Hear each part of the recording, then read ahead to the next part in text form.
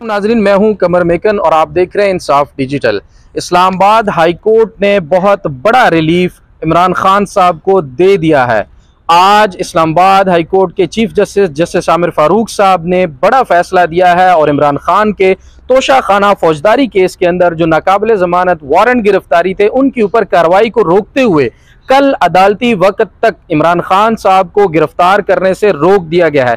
ये वही वारंट गिरफ्तारी है जिसको बुनियाद बनाकर इस वक्त इस्लामाबाद पुलिस और लाहौर पुलिस जो है इमरान खान साहब को गिरफ़्तार करना चाहती है। बेसिकली इन वारंट का मकसद इमरान खान साहब को गिरफ़्तार करके अट्ठारह तारीख तक एडिशनल सेशन जज ज़फ़र इकबाल साहब की अदालत में पेश करना था, जबकि इमरान खान साहब के मुतद दरखास्तों के बावजूद ना उनको हाजिरी से इस्तना दिया गया, ना ही उनकी कोई और दरख्वास्त एक्सेप्ट की गई, जिसमें वीडियो लिंक पर समात की दरख्वास्त भी शामिल थी।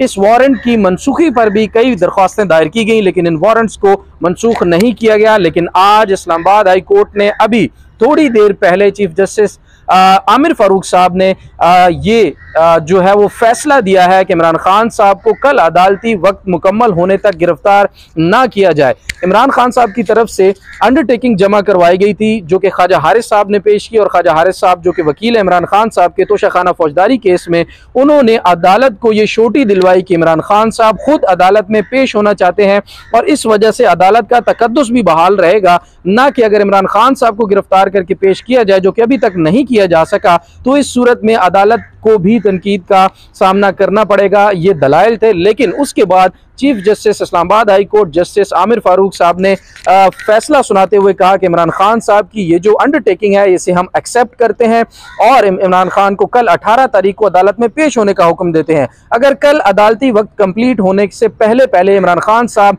एडिशनल सेशन जज ज़फ़र इकबाल साहब की अदालत में पेश नहीं होंगे तो chief justice Islamabad high court justice Aamir Farooq साहब का कहना था कि इमरान खान के खिलाफ तोहन अदालत की कार्रवाई भी की जाएगी। और ये आपको और भी बताता चलूँ कि ये जो अंडरटेकिंग आज जमा करवाएगी इस्लामाबाद हाईकोर्ट के अंदर। ये वही अंडरटेकिंग है जिसे एडिशनल सेशन जज ज़फ़र इकबाल साहब ने कल मुस्तरद कर दिया था और इसे एक्सेप्ट नहीं किया था। उन्होंने इसको कबूल करने से इनकार कर दिया था और कहा था कि हर सूरत इमरान खान साहब को गिरफ़्तार करके अदालत में पेश किया जाए। लेकिन आज सुबह ख्वाजा ख्वाजा हारिस साहब की जो क्यादत में पीटीआई की वकला की टीम और शिबली फराज साहब अदालत में पेश हुए और उन्होंने रिक्वेस्ट की दरख्वास्त दायर की कि इमरान खान साहब को कल अदालत में पेश होने तक का वक्त दिया जाए और तब तक इन वारंट्स के ऊपर जो गिरफ्तारी का हुक्म है उसे रोका जाए जिसको मंजूर करते हुए अंडरटेकिंग ली और उसके बाद इस दरख्वास्त को मंजूर किया।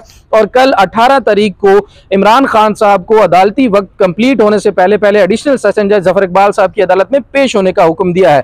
ये थी तमाम तर तफसीत आज इस्लामाबाद हाई कोर्ट से। आ, अभी तक के लिए इतना ही। अपने मेज़बान कमर मेकन को दीजिए इजाज़त। अल्लाह हाफिज़।